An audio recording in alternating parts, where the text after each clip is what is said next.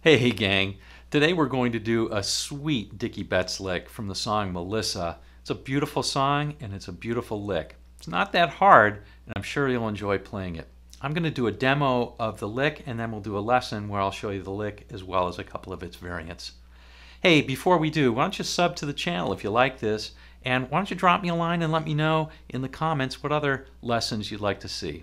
Okay, on with the demo.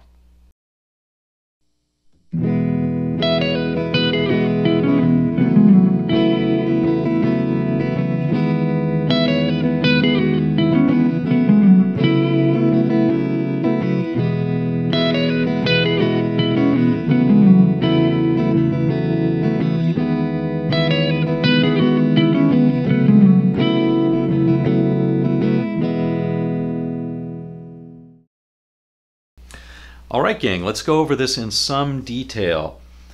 Now, first things first, you can download the tab from the link in the description below. It's going to make your life a little bit easier.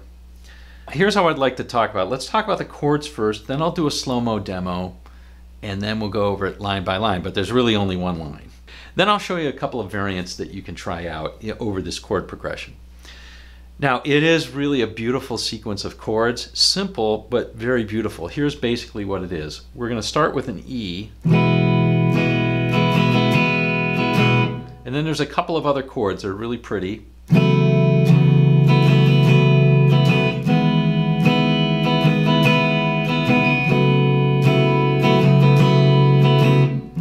it ends up on an E. Okay, so how do you think about those really pretty chords and what do you call them? Well, I don't care what they're called. Here's what I think. Here's how I think about them. I think about them as essentially an E, that's easy enough. Then I think of this as an F sharp minor variant. Then a G sharp minor variant.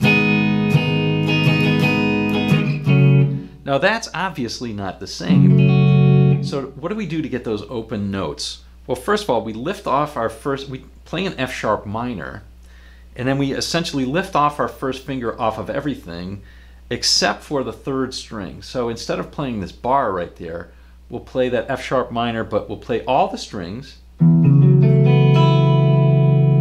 But uh, we're only going to play with our first finger on the third string second fret. Okay, does that make sense? So uh, sixth string open, then four, then four, then two, then open, then open. And then for the next one, I think of this as a G sharp minor variant where you just leave everything else open, same thing. You're just shifting up two frets.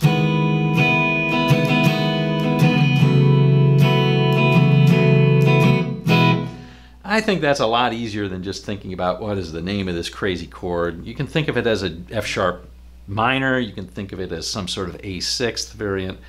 And heck, you can even think of it as something like a D major seventh. But to me, that's the way I like to think of it as F sharp minor, but you're just changing the bass note and leaving some open notes. Enough about that. Let's talk about the lick itself. So the lick itself is this.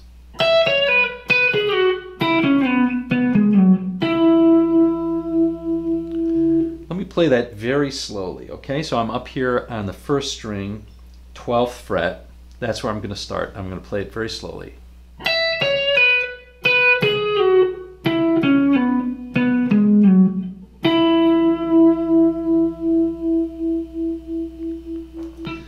Okay, so what is going on there? First of all, this is basically an E major pentatonic lick.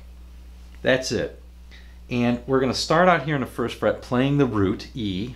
I'm first string, 12th fret, playing the root E and then we'll play 14, pull off 12. So it's Second thing, we're going to shift the position. Now, Dickey was really, really good at shifting positions all over in his major pentatonics and making it seem really smooth. This is no exception at all. And so here we're going to play on the second string, 12, and then we're going to play 13 on the third and slide down to 11 really quickly.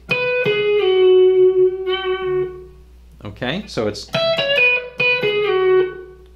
all right. Then we're going to play nine on the third and 11 slide down to, or pull off to nine on the fourth. And then finally nine on the fourth um, slide down from 11 to 9 on the fifth, and then play the, the ninth on the third string.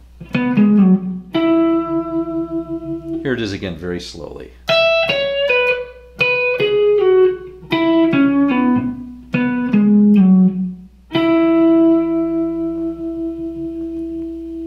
There's different places you can play this on the fretboard. You could play it up here.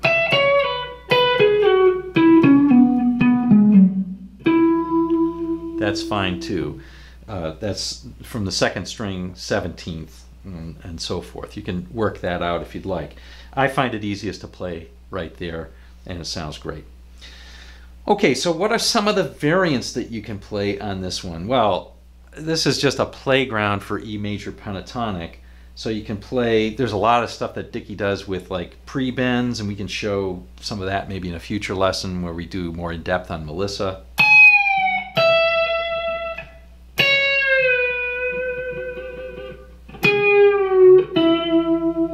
You know, that kind of stuff. And you can also use his famous, some of his lines from his famous hexatonic, which is not quite in the major pentatonic, right? This this A right here is the fourth. So we'll add that fourth.